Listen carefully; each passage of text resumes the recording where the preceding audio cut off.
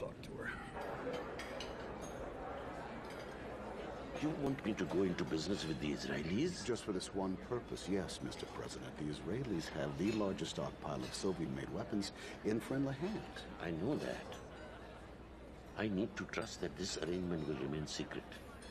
Pakistan and Israel would have to appear to be enemies in the public eye. Yeah, I, I don't think that's a tough sell. You have authority to do this?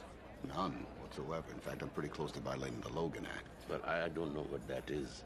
But Charlie, Yes, sir. if I see one fucking star of David on a crate, You won't. I promise.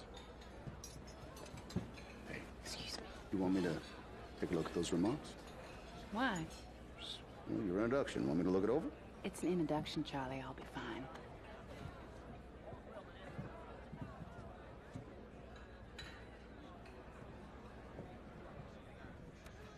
Today, we honor President Zia ul Haq of Pakistan.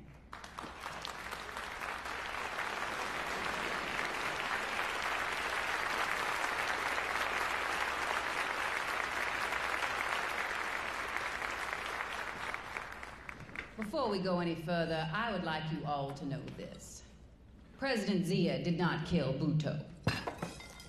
In the time that he has been president, the fortunes of Pakistan have changed radically. I've asked you all here today.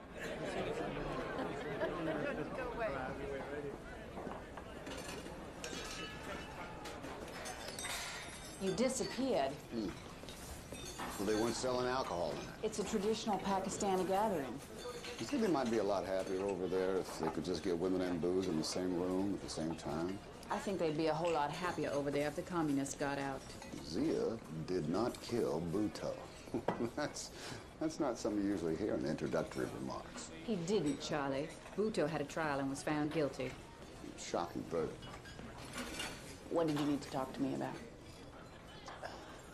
Joanne, darling, dial down the religion. What? It could alienate people who support the elite.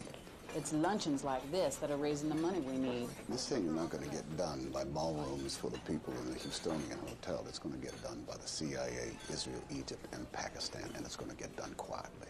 Now, you start making people think we're trying to convert everybody to Christianity. I was saved by Jesus Christ, Charlie, and I am not ashamed of it. My fervor is not about religion, it's about freedom of religion, which we have, they want, and the communists are slaughtering them for. And I get it.